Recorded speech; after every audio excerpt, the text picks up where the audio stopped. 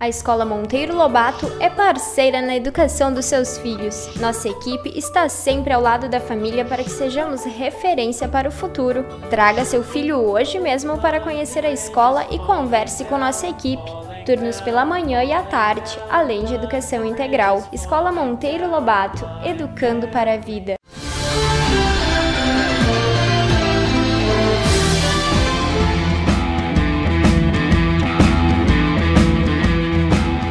Aqui no Rally de Tapes também é lugar de ter uma exposição de veículos antigos. E o Jair Haas é uma das pessoas aqui da cidade que tem um veículo antigo e que valoriza muito isso.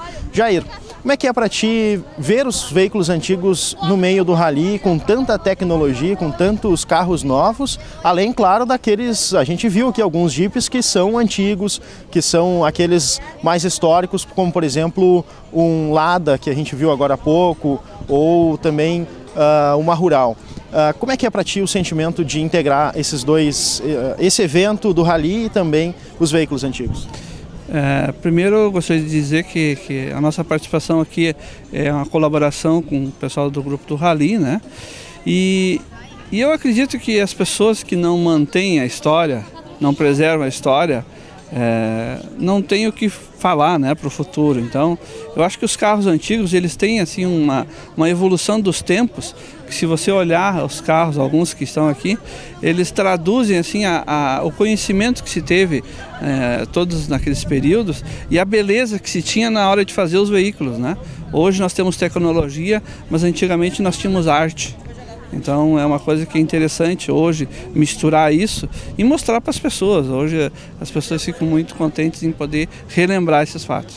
Além disso, hoje tem muita peça que não dura tanto quanto os veículos antigos, né? Com certeza. É, isso também faz parte do, do, do movimento comercial.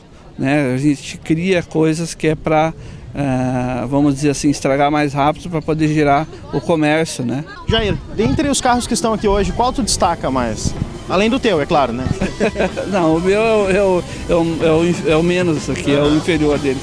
Mas Vamos é assim, dar uma caminhadinha até ali? Uh, nós poderíamos destacar um, um MP Lara 1978, que é, é, é, uma relíquia, né? praticamente é uma relíquia. São, é, são, são dois lugares, né? E e é uma coisa que não é muito vista, isso não tem muito no, na rua, assim, andando, né? E aí nós temos os Opalas, os Fucas, né? Os Corcel, é, que são carros tradicionais que as pessoas usavam antigamente para o dia a dia de trabalho, né? Então, e estão aí, estão vivos até hoje, estão andando, né? E são carros bons, né? Esse MP Laffer, ele é de Arambaré? Esse é de Arambaré, do Clube de Arambaré. Que legal. Então você confere aqui em TAPS também esse evento dessa exposição de veículos antigos aqui no município.